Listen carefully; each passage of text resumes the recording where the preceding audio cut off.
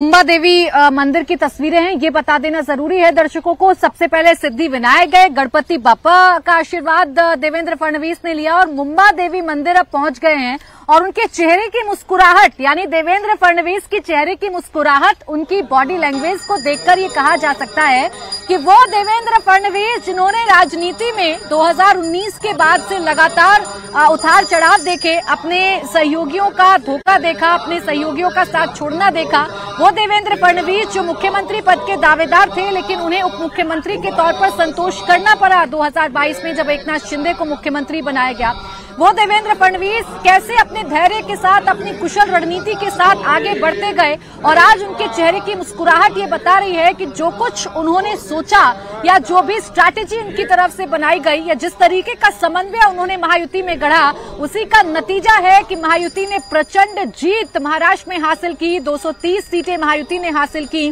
और 132 सीटें भारतीय जनता पार्टी ने अपने बलबूते पर हासिल की। वो वक्त आज ज़रूर याद आता है जब 2024 के लोकसभा चुनाव के नतीजे सामने आए, देवेंद्र फडणवीस काफ़ी निराश हुए क्योंकि बीजेपी ढाई का आंकड़ा भी छूने में कामयाब नहीं हो पा रही थी। डेप्यूटी सीएम पद से इस्तीफा देना चाहते थे, संगठन में काम करना चाहते थे, लेकिन केंद्र का हाथ देवेंद्र फडणवीस पर लगातार रहा। केंद्र की तरफ़ से लगातार उनको ये मैसेज दिया गया कि आप सरकार में रहिए, आप सरकार में रहेंगे तो महायुति की सरकार बेहतर समन्वय के साथ चल पाएगी। और एक बार फिर देवेंद्र फडणवीस ने केंद्र की बात मानी वो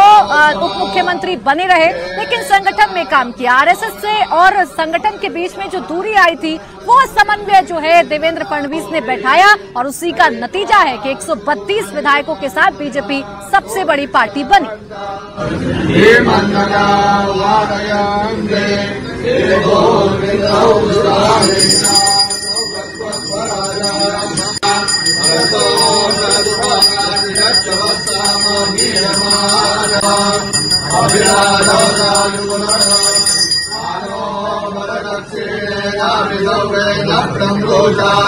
इन्द्रमानो वसो निर्भाग उभक्रमस्व भरदवृषणा दृष्टो जना नदुभागादिरच्चवत्सामभीरमाना अभिराधोदायुगुणः आनो वरदक्षिणेनाभिदौ वेदप्रं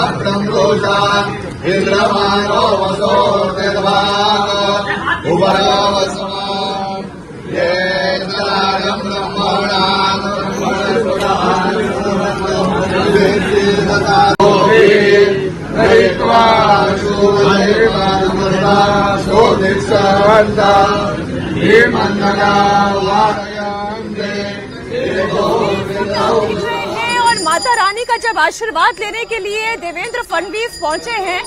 तो आप इसे जरा